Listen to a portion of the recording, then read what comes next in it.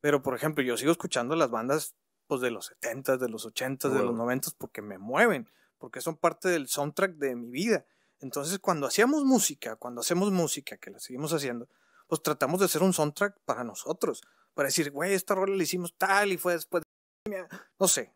Entonces, nos ha tocado la, la fortuna, la bendición de, de toparnos con raza que dice, güey, yo me le declaré a mi morra con una canción de ustedes. Ah, con yo me casé con esta rola, güey. O yo apliqué pasión con aquella, ¿no? Sí. Entonces, Hay para todo, güey. Entonces, esa es la, la, la, la fortuna que tenemos de, de marcar la vida de, de las personas a través de la música. Entonces, y ahorita la seguimos haciendo y con el mismo fin de no pensar en dinero para que la creatividad fluya. Sí. Y nos importa madre si te gusta o no, la neta. Mm. Lo hacemos porque nos gusta a nosotros y gracias a Dios no vivimos de la música y eso todavía nos da mucha más libertad creativa. Claro. Con madre. Ah, Oye, bueno, hace rato nos estabas platicando de que tu jefe es músico y todo eso. ¿Cómo fue la respuesta de tu jefe cuando le dijiste, voy a empezar a tocar metal, jefe? Si le quiero hacer esto. Pues de entrada, cuando yo, digo, siempre hubo guitarras en mi casa y, y- y le dije, oye, papá, quiero aprender a tocar la guitarra. No, güey. No, no, no, música no. No te metas a este pedo, carnal. La que me enseñó a tocar fue mi jefa. Mi jefa también toca la guitarra y también, me dijo, güey. a ver, güey, te voy a enseñar, a cantar- a una, te voy a enseñar una canción, a ver si la armas, ¿no? Y me enseñó la bamba, ¿no? Ok. Y de ahí empecé, fue la primera canción que me aprendí, La Bamba. Entonces, pues mi jefe también pues, le han grabado artistas y, y mi papá es, es doctor y es artista, ¿no? Entonces, pero también él, él lo hace que sin fines de lucro, entonces él hace su libertad creativa y le han grabado, pues regularmente le han grabado gruperos, hay rolas, hay una rola de mi jefe que se llama El Tejano, que fue disco de oro de Liceo Robles, A huevo. el tío Liceo, buena onda.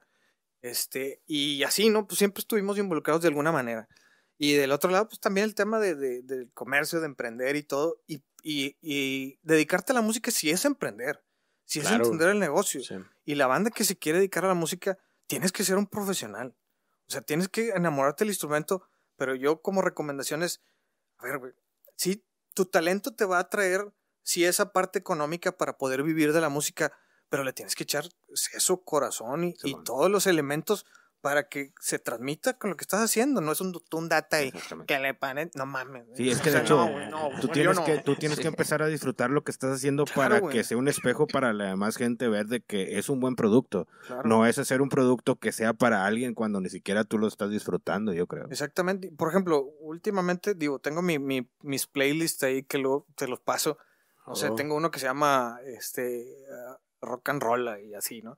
Y hay una banda que me gusta mucho que se llama Biffy Clyro, Ok. Ok. que es una banda inglesa, no es de Irlanda, Ah. irlandesa, es, Ah, escoce- es escocesa, es escocesa. Sí. Que los vatos llenan el estadio de Wembley y no suenan acá, güey. Ah, Pero esos vatos siempre han hecho música para ellos. Foo Fighters es otro que yo soy fan de. que está en mi top 5. Este, pues Metallica.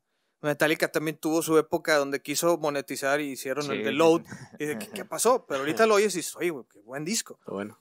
Entonces, pues yo creo que, que sí hay que escuchar música que, que, que te llene el espíritu, ¿no? Y si es la música de los, ¿cómo se llama esa madre? Bélica, esa madre. Bueno, si te hace feliz, güey. Está bien, güey. Yo creo, en lo personal, que si tú llenas tu espíritu de nada más vas a proyectar. O sea, no hay otra receta. Sí. Si tú le metes cosas chidas a tu vida, desde las películas, desde los libros, desde lo, cómo te vas educando tu corazón y tu cabeza, pues lo que vas a producir es bueno, güey. Exactamente. Si tú le metes pura mierda, güey, no vas a producir nada que valga la pena.